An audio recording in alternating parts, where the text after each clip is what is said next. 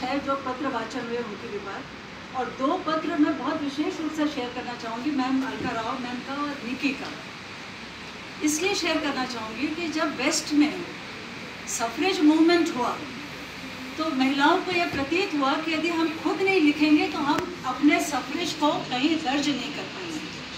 तो मान लीजिए वो महिलाएँ न लिख पाई हों तो उनकी जनरेशन यदि ये लिखती है तो मैं सोचती हूँ कि इससे अच्छा कोई काम किसी भी संगोष्ठी के लिए नहीं होगा। वो कहलाए कल्ट ऑफ़ वुमेन हेड कहलाया वो। वो जो वेमेन राइटिंग फेमिनिस्ट राइटिंग की जो बात हुई, वो इसी दृष्टि से शुरू हुई और आज जैसे दो प्रयास हुए तो मैं सोचती हूँ कि इससे अच्छा प्रयास किसी भी संगोष्ठी के लिए नहीं हो सकता। तीन पत्र और हुए। अनुराधा माथुर का हुआ, जिन्होंने अलवर के विशेष संदर्भ में चर्चा की। सज्जन जी का हुआ, सज्जन हरदम अच्छा बोलती हैं, पर समय कम होने के कारण बूंदी के संदर्भ में चर्चा की।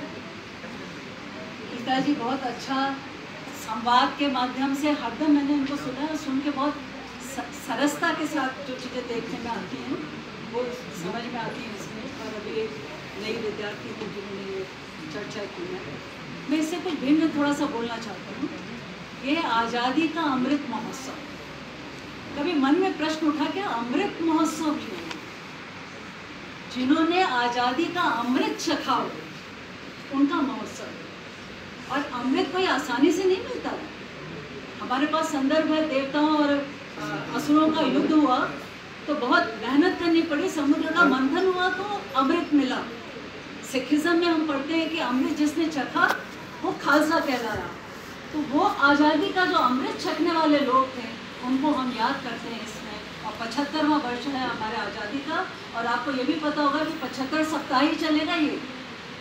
ये एक अवसर दिया गया सरकार की ओर से कि जो लोग विस्मित हो गए। मैं तो अभी आपसे बात कर रही थी कि विस्मित क्या वो स्मृति में ही नहीं थे तो विस्मित कहाँ से होंगे वो? तो जो दर्ज नहीं हुए, इतिहास में तो दर्ज थे वो, पर इतिहासकारों ने दर्ज नहीं किए। और इतिहासकारों ने क्यों नहीं दर्ज किए? इसके पीछे भी बहुत सारी अवधारणाएँ हैं, मैं खुद भी एक इतिहासकार हूँ, मान के चलती हूँ कि कोई इतिहासकार कितना भी ऑब्जेक्टिव कहता हो ऑब्जेक्टिव नहीं लिखता सब्जेक्टिव लिखता है और कहीं ना कहीं कोई ना कोई परिस्थिति, जन्य स्थितियाँ होती हैं जिनके कारण ये दृष्टियाँ देखने को मिलती है। तो जो विस्मृत हो गए, उनको हमको यहाँ पर स्मरण करना और विशेषकर महिलाएँ। और मैं सोचती हूँ कि महिलाओं जैसा रोल किसी भी क्षेत्र में कोई नहीं निभा सकता। जिस तरीके से जीवन जीती हैं जो भावनाएँ हैं, जो अभिव्यक्ति हैं, वो पुरुष के पास हो ही नहीं सकती।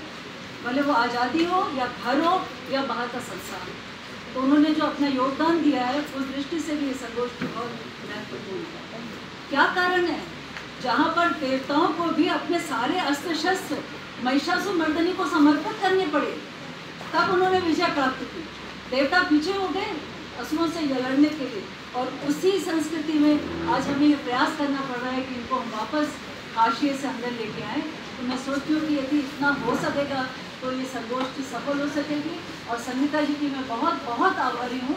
मैं तो बिना किसी उसके आई थी, मैं कहा थोड़ी देर बैठूँगी। घर की कुछ परिस्थितियाँ ऐसी हैं।